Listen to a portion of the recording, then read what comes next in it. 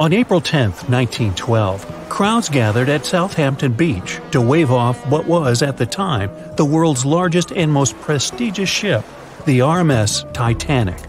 The cost of the most expensive first-class parlor ticket was 4,350 bucks. That's around $70,000 in today's money.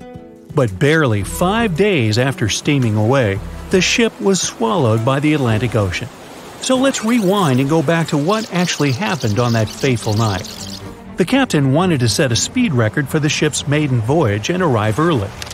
The ship was deemed unsinkable, so he went full throttle into the dark Arctic waters. After spotting the 100 foot iceberg, the crew desperately tried to steer the vessel away and avoid the collision, but the Titanic was traveling too fast, and the iceberg tore down the side of the ship, creating a huge opening in the hull. It wasn't a continuous rip, and damage was caused in several places. In total, the damage spanned along an area of around 300 feet. But the ship's designers had prepared for the prospect of a collision and added watertight compartments down each side of the ship to act as a buffer zone. Four of these compartments could be breached and the ship would still stay afloat. But because the iceberg tore down the side of the Titanic, it ripped holes in six compartments. The compartments didn't extend up the total height of all decks and weren't actually sealed at the top. This is why, when more than four were flooded, water reached over the top of the bulkheads and filled the remaining compartments, causing the ship to sink into the ocean. Think of it as water spilling over an ice cube tray. But what if the collision was head on? Would it still have sunk? Ships are designed with potential crashes in mind, and most vessels have collision bulkheads in the bow. Most of all, it's like your car's bumper or crumple zone. It's a safety feature that can withstand a direct hit. The bow could have taken some of the impact, and some experts have suggested that if it hit head on, only two to four of the watertight compartments would have been flooded. So, in theory, the Titanic might not have sunk, and it might have even been able to continue sailing to its final destination at a much slower speed. The force of impact would likely have been huge, though. But although passengers would have been injured by the force, they'd have been able to stay on the ship to wait to be rescued by other ships, rather than being forced into the icy waters of the Atlantic. Still, one of the Titanic's designers, Edward Wilding, suggested that the force of the impact might not have actually been that big. He told the British Inquiry that lots of people scarcely felt the collision, and he believed the ship would not have sunk if it did hit the iceberg head on. The ship was also designed with remotely operated watertight doors between all compartments, so any floods could have been quickly sorted out. Because Titanic had six breaches from the side collision, and because it happened so quickly, sealing the doors wouldn't have made a difference, as it was essentially impossible to save it by that point the ship immediately began to flood, with water pouring in at a rate of roughly 7 tons per second, 15 times faster than it could be pumped out. So, while it sounds like the Titanic would have survived had the ship hit the iceberg head on, this idea does come with some issues. First off, the collision bulkheads were designed to survive a crash with another ship, not a giant iceberg. If two ships collided, both would absorb some of the impact in their bulkheads, sharing the impact and likely staying afloat. But an iceberg is stationary, meaning that Titanic would absorb most of the energy from the collision. If Titanic hit head first, because of the speed it was traveling, the impact would have likely traveled down the whole body of the ship. Just imagine a 46,000 ton ship traveling at around 20 knots. At some point, it hits an iceberg that weighs what could be over 100,000 tons. This collision would likely create a powerful force causing massive damage to the vessel. It is likely that seams would split, staircases would come tumbling down, and rivets would burst open across the ship. All that would have potentially flooded even more compartments. This could have caused Titanic to sink in a matter of minutes rather than hours. But that's just the tip of the iceberg. As we all know, the biggest part of it is hidden underwater. So if Titanic had been traveling head on, it's likely it would have hit the part of the iceberg below the water first, which would send it veering off course. Hitting an iceberg is not like hitting a brick wall. In this case, the ice under the water would have torn open the bottom of the ship and caused damage to the sides. Icebergs also aren't flat, solid objects. If a flat collision happened, the ship might have stayed afloat, but icebergs come in many shapes and sizes, from domes to wedges. Studies have also been done on the steel used to produce Titanic, and the tests show the metal was about 10 times more brittle than the steel we use today. The ship was built before we understood the effects of low temperature on steel. The old steel used to make the vessel would not bend when faced with freezing temperatures, but break. Recovered pieces of Titanic's hull plates show that the hull just shattered on impact. Hitting head on would also cause a very severe and abrupt stop. So even if the ship hadn't sunk, there would still have been major issues. Think about when you suddenly hit the brakes on your car, or when the bus stops while you're walking down the aisle and you get flung forward. Passengers would have been thrown across the ship, and because the crash happened at night, most people were sleeping, so wouldn't be able to effectively prepare for any sort of impact. This would result in injuries for most people on board. It would be especially bad for those at the front of the ship, where the accommodation for the off duty firefighters, greasers, and engineers was. But while passengers and off duty crew may have been thrown out of bed, there would be a lot more survivors than in the original scenario. A smaller ship might have been better suited for the trip, Titanic's size was certainly a challenge when it came to steering. In fact, it had just left her dock in Southampton when it nearly collided with another smaller ocean liner, the SS New York, missing it by just two feet. The gigantic steamship was obviously not made for maneuvering quickly in tight quarters. A ship that size required time and space to change course. But when it comes to ships versus icebergs, a ship's size doesn't always matter. The Islander was a steamship designed to travel the inside passage in Alaska. In the summer of 1901, it struck an iceberg, which tore a hole in the front portion or bow of the ship. The vessel did not sink right away, and the crew tried to steer it to safety. Ultimately, its bow completely submerged, and its stern was lifted up and out of the water. It didn't take much longer before the ship sank completely. Of the 168 passengers and crew members, 128 survived, and $3 million in gold was lost. Islander had a 240 foot hull, making it almost a quarter of the size of Titanic, and that smaller size didn't seem to be much help in preventing a collision with an iceberg. And then there was the Hans Hedtoft in 1959 also known as the Little Titanic or the Danish Titanic, it was referred to as the safest ship afloat. It was 272 feet long, with 95 people on board. Much like the real Titanic, the Hans Hedtoft was specifically engineered to handle most of what the sea could throw its way. Along with its double steel bottom, it also had an armored bow and seven watertight compartments. How could such a ship sink? But it could, and it did. It was on its first voyage, returning to Copenhagen, when it ran into trouble. On January 30th, it hit an iceberg. An SOS was sent, but when the Johannes Krüss arrived to help, the Hans Hedtoft was nowhere to be found. The only evidence of the ship's existence was a lifebelt that was washed ashore in Iceland nine months later. Again, the ship's smaller size didn't work in its favor. A smaller size of Titanic wouldn't have guaranteed a safe voyage in 1912. The final what if concerns the last minute choice when the iceberg was spotted and the alarm sounded. First, Titanic could attempt a complete stop, but this wasn't an option as the ship needed a half a mile to come to a halt, and the iceberg was a mere 900 feet away. Second, the Titanic could attempt to avoid the iceberg by steering away from it, this is what the captain ordered, but the attempt was unsuccessful, resulting in a deep gash across the ship's hull. The final option? To hit the iceberg head on. Would this have made any difference? The answer is an intriguing maybe. Some think a head on collision would have saved Titanic. In this scenario, the collision would have limited the damage to the very front of the ship instead of the iceberg tearing through the hull and compromising several of the watertight compartments. Only four of the compartments would have been breached. This meant the others could do their job of keeping Titanic afloat. The ship could be stuck, unable to move, but it would remain above water until help arrived.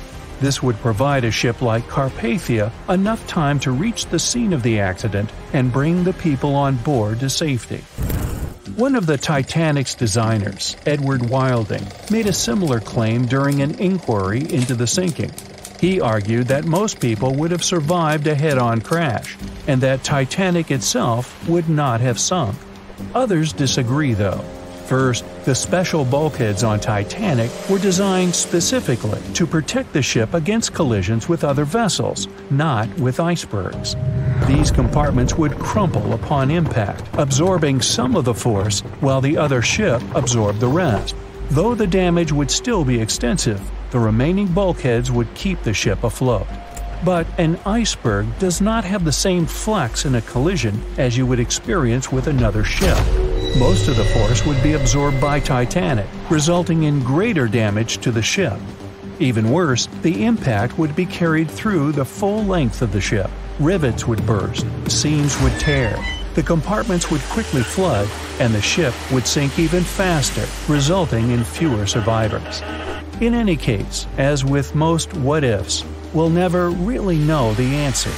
As tragic as Titanic's first and last voyage was, it did result in changes that helped make venturing out to sea much safer. Findings from hearings on the disaster led to the creation of the International Ice Patrol, or ICC, in 1914, an organization that tracks icebergs in the Atlantic and Arctic Oceans to ensure vessels in the area can avoid them. In the US and Britain, ships were obligated to carry enough lifeboats to accommodate every person aboard regular lifeboat drills were made mandatory. And finally, the bulkheads on ships were made higher to keep water out, and bottoms were stretched to create double hulls, helping make the compartments truly waterproof. There's no denying that Titanic was a terrible tragedy, but the lessons learned from that night to remember has helped prevent many more.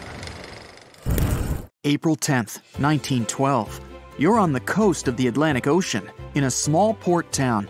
Hundreds of people, and you among them, are going to board the huge, majestic ship. It's three times as long as the Statue of Liberty is tall. The ship is considered the most advanced and unsinkable watercraft of its time. You can see hundreds of luxury cabin windows on its deck, and the Titanic inscription on the magnificent iron hull.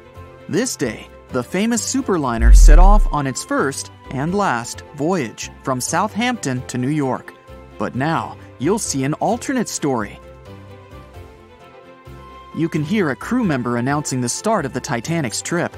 The ship sails from Africa to Bermuda, and the cause of its catastrophe will not be an iceberg at all. For four days, Titanic sails through North Atlantic waters. The sun warms the ship so much that during the day, all the passengers sit inside the ship. In the evening, when a cool breeze descends on the ocean, all the people go up on deck to watch the beautiful red sunset. Midnight, April 15th. You're sitting in your cabin reading a book. You're usually asleep at this time, but right now, you're just flipping through page after page. You close the book and look around the cabin. You feel like someone's watching you. You get up and break out into a cold sweat. An inexplicable feeling of anxiety permeates your body and causes goosebumps. You look out the cabin window where the ocean spray is banging the glass, but you can't see anything. There's a thick fog outside. You leave the cabin. In addition to you, several passengers also left their beds because of a heightened sense of danger. They greet you and ask what's wrong, but no one knows. You head to the stairs to go out on the deck to see the situation. At this point, the floor goes out from under your feet. A strong push makes you fall. A rumble reverberates through the Titanic. You get up and see more and more people going out from their cabins. You run up the stairs and meet a crew member. He doesn't tell you anything, but his eyes are wide with fear. You go up on deck and can hardly see anything. A thick, wet fog has settled over the ship. Several passengers are holding their heads as if they have a headache. You see the captain and ask him what happened. The captain admits that he has no idea where you are. You see a compass in his hand. The arrow turns in different directions. It's impossible to determine where exactly the ship is now. Interestingly, there was no such thing as the Bermuda Triangle before 1964. but the first reports of missing ships in this area date back to the middle of the 19th century. Another push. This time you've managed to stay on your feet. It felt like something big just hit the ship. You run to the railing at the edge of the deck and stare overboard. Through the white fog, you notice a huge shark fin. You haven't seen the full size of the shark, but from what you've seen, it must be as long as a train car. The shark swims away, but after a few seconds, you can see its fin again. It quickly approaches the ship and grabs the iron hull with its huge jaws. The deck is shaking. You can hear the grinding of metal. It seems this huge predator just made a hole in the hull. Only one creature on the planet can do this the Megalodon! It's an ancient marine predator that measured almost 60 feet in length. Megalodon had no competition in the ocean. It was at the top of the food chain. It's believed the shark disappeared millions of years ago, but the ocean is only 5% explored. Here, it's alive and swimming in the mysterious waters of the Bermuda Triangle. Everyone aboard the ship is panicking. People from the lower decks are running upstairs. The Titanic slowly sinks and tilts to the side. Everyone goes to the lifeboats, but no one dares to get in them while the huge ancient monster is around. The ship's bow submerges under the water. You stand on the left side of the deck and see the megalodon bite off pieces of the iron hull. You shout to the people in the stern section that the megalodon is busy and they have time to evacuate. The first rescue boats with passengers go down on the water. Some passengers just jump overboard.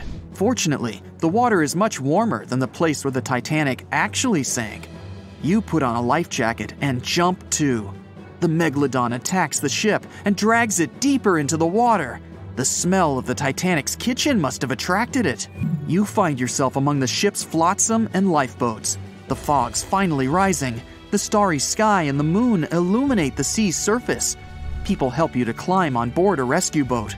Everyone tries to sail as far away from the sinking ship as possible. You see the huge shark swimming around the Titanic. At this moment, something distracts it, and the predator goes away. More than half of the ship is already under the surface. The second part looks like a candle sticking out of the water. The ocean is calm, the sky's clear and cloudless, there's no wind. From the side, you see a huge wave growing behind the Titanic. It's about 50 feet high, like a five story building. It knocks the ship down as easily as if it was made of paper. The monster wave dissolves in the water as quickly and unexpectedly as it appeared. You've just witnessed a rogue wave. This phenomenon occurs all over the world. Enormous waves suddenly appear, demolish ships, and disappear without a trace. Scientists still can't determine their exact nature, but according to the most popular theory, these waves are formed by kinetic vampirism. Under certain natural conditions, waves accumulate and exchange kinetic energy. Among all the waves out there, there is one vampire wave that absorbs the energy of all the others. When a lot of energy is accumulated, a huge wave grows and splashes it all out. Some believe the frequent disappearance of ships in the Bermuda Triangle occurred because of rogue waves. The people on the boats calm down. Someone sends a flare into the sky. You look at the ocean and see the triangular fin of the megalodon emerging from the water. It's the size of a sailboat, and it's coming your way. You row the oars as fast as you can. People are screaming and calling for help. There's no chance of escape. The legendary monster is getting closer and closer. The shark's head peeks out from under the surface. It opens its huge maw filled with hundreds of sharp teeth. Each of them is the size of your palm. The boat would fit entirely inside the shark's mouth. It can swallow you whole. The shark stops and closes its mouth at arm's length from the boat. You can see the water bubbling around you. From the ocean depths, several giant tentacles lash out and wrap around the megalodon. They pull the shark down. You look over the side and see a purple glow with a black circle in the center. Someone on the boat notices it too. People start screaming, It's looking at us! A woman shouts. After a second, you get goosebumps, and a shiver runs through your entire body. This purple glow is something's eye, and the black circle is the pupil. The creature that is looking at you right now is so big that the boat seems like a grain of rice to it. It's the Kraken! The giant squid, an ancient monster that sank hundreds of ships, but whose existence has not been proven by anyone yet. Fortunately, the boat you're sitting in is too small to interest the Kraken. You can see its eye moving deeper away. Huge tentacles pull the struggling megalodon into the depths. An hour passes, and another big superliner arrives at the wreck of the Titanic. All the passengers are rescued. You look back at the calm sea, at the place where the Titanic recently sailed. You climb aboard the rescue ship and promise yourself never to go on a sea voyage again. That's it for today. So hey, if you pacified your curiosity, then give the video a like and share it with your friends. Or if you want more, just click on these videos and stay on the bright side.